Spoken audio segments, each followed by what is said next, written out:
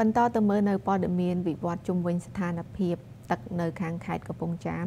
ដោយសារតែរយៈពេលប្រមាណថ្ងៃនេះគឺមានភ្លៀងធ្លាក់ជាប់ធ្វើឲ្យទឹកទន្លេមេគង្គនៅខេត្តកំពង់ចាមមានការហក់ឡើង ហើយនៅក្នុងនោះគឺបើទោះបីជាមិនទាន់ដល់កម្រិតប្រកាសអាសន្នក៏ប៉ុន្តែយ៉ាងណាក៏អាជ្ញាធរបានត្រៀមលក្ខណៈជាស្រេចដើម្បីជួយសម្រួលទៅដល់ប្រជាពលរដ្ឋស្របពេលដែលទឹកទន្លេបានហក់ឡើងនេះលិចដល់តំបន់មួយចំនួន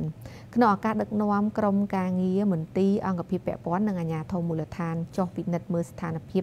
ទឹកចំនួនទន្លេមេគង្គនៅត្រង់ចំណុចព្រែកតាឃ្លោកស្ថិតនៅឃុំកោះសតិនស្រុកកោះសតិននៅថ្ងៃទី19ខែកញ្ញាម្សិលមិញឯកឧត្តមអ៊ុនចន្ទដា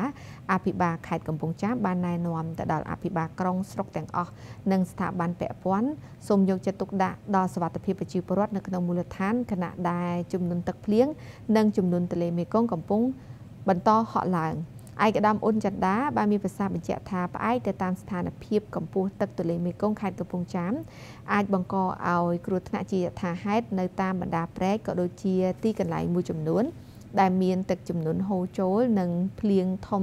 ដក់លិច ហើយឯកឧត្តមអភិបាលខេត្តក៏បានធ្វើការណែនាំទៅដល់លោកអភិបាលក្រុងស្រុកទាំងអស់និងស្ថាប័នពាក់ព័ន្ធឲ្យបន្តយកចិត្តទុកដាក់លើការងារមួយចំនួនទី1គឺត្រូវចុះពិនិត្យកន្លែងដែលមានទឹកហូរចូលព្រែកនិងកន្លែងដែលទឹកភ្លៀងដក់ដែលមានប្រជាពលរដ្ឋមកលេងកម្សាន្តសូមធ្វើការណែនាំឲ្យពួកគាត់ប្រុងប្រយ័ត្នខ្ពស់ពីសុវត្ថិភាពផ្ទាល់ខ្លួនជាពិសេសមេដាបេដាអាណាព្យាបាលត្រូវមើលថែទាំកូនចៅឬក្មេងតូចតូច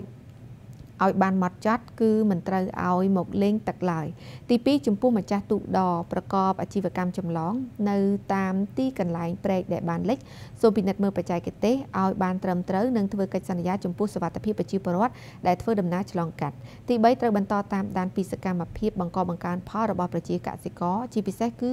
លើផលប៉ះពាល់ទឹកចំនួនទឹកទន្លេមេគង្គនិងចំនួនទឹកភ្លៀង